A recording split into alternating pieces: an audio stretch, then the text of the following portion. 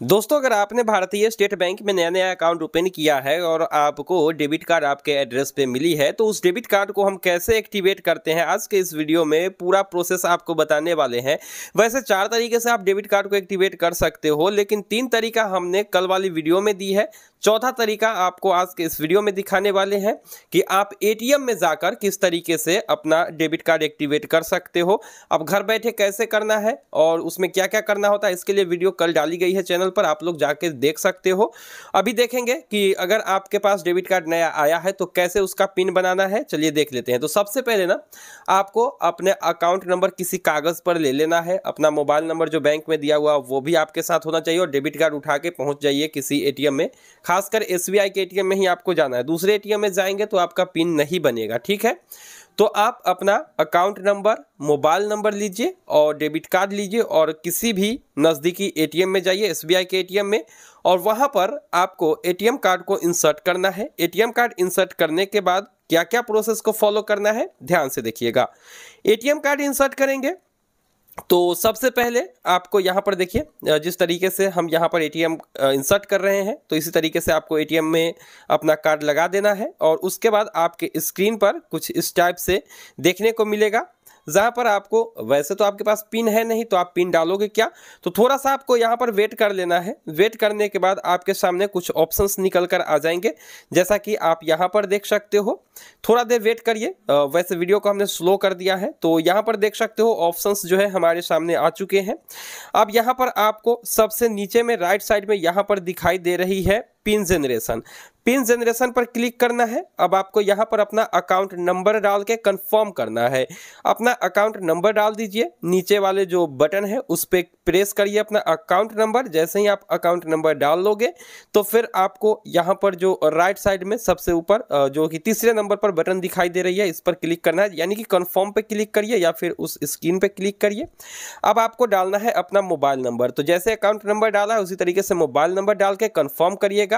और फिर से आपको यहाँ पर बताएगा कि वन टाइम पिन जो है आपके मोबाइल नंबर पर आ जाएगी। तो आप जो है मोबाइल लेके गए होंगे। तो आपको जो है यहाँ पर कन्फर्म पे क्लिक कर देना है। जैसे ही कन्फर्म पे क्लिक करोगे ना, आपके जो नंबर है बैंक में रजिस्टर उस पर एक ओटीपी आएगी। यानी कि वन टाइम पिन अब आपको अपने कार्ड को एटीएम से बाहर निकाल लेना है और पिन आने का इंतज़ार करना है। जैसे ही आपको पिन मिल जाती है, अब आपको अपने कार्ड को फिर से एटीएम में इंसर्ट करना है। अब उस पिन को यहाँ पर डाल के आपको अपना पिन चेंज करना होता है, क्योंकि जो पिन आपको मैसेज के ज़रिए मिलती है, उससे आप ट्रांजेक्शन्स नहीं कर सकते हैं, पैसे नहीं निकाल सकते हैं, वो सिर्फ़ आपको पिन बदलने के लिए वन टाइम पिन दिया जाता है, एक ही बार उसको यूज़ कर सकते हैं।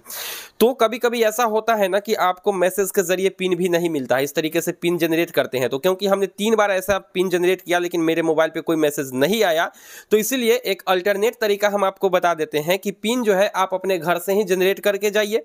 पिन जनरेट करना काफ़ी आसान है। आप दूसरे तरीके से पिन जनरेट कर सकते हैं वन टाइम पिन आपको क्या करना है कि अपने जो बैंक में मोबाइल रजिस्टर है, उस रजिस्टर मोबाइल नंबर से आपको एक एसएमएस भेजना है।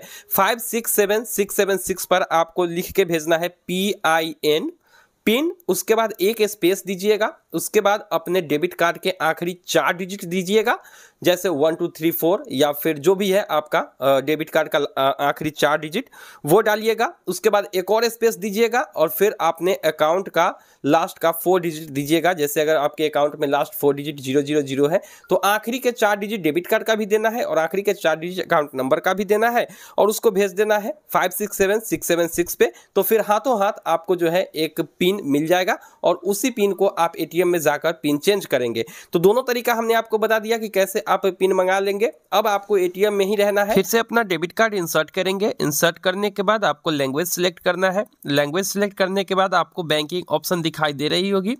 तो बैंकिंग यहाँ पर दिखाई दे रही है। आपको लेफ़्ट साइड, राइट साइड कहीं पर भी बैंकिंग अगर दिखाई दे तो उस बैंकिंग वाले ऑप्शन पर क्लिक कर देना है, जैसा कि आप यहाँ पर देख सकते हो।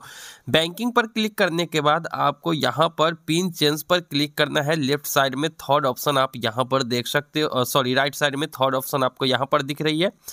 तो यहाँ पर पिन चेंज पर आपको क्लिक कर देना है। जैसे ही पिन चेंज पर आप क्लिक करोगे, आपको कुछ डिजिट्स यहाँ पर डालने को बोलेगा। दस से निन्यानवे के बीच में कुछ भी बीस, पच्चीस बार डाल दीजिए, उसके बाद नेक्स्ट करेंगे।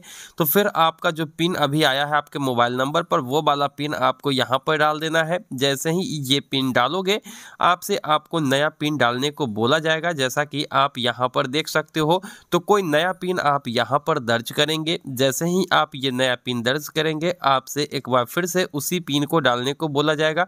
जो नया पिन अभी आपने डाला है, वही पिन एक बार फिर से आपको यहाँ पर डाल देना है। और जैसे ही वो वाला पिन आप यहाँ पर डाल दोगे, आपका जो ट्रांजेक्शन है वो प्रोसेस में जाएगा और सक्सेसफुली आपका जो डेबिट कार्ड का पिन है वो चेंज कर दिया जाएगा, जैसा कि आप यहाँ पर देख सकते हो। तो इस तरीके से आप अपने नए डेबिट कार्ड का पिन जनरेट कर सकते हो और पिन चेंज भी कर सकते हो। ये थी एसबीआई के नए एटीएम कार्ड को एक्टिवेट करने की या फिर पिन जनरेट करने की प्रोसेस तो उम्मीद है कि आप लोगों को ये वीडियो पसंद आई होगी। वीडियो पसंद आए तो वीडियो को लाइक करके चैनल को सब्सक्राइब करिए। मिलते हैं किसी नई वीडियो में। दीजिए इजाज़त। Thank you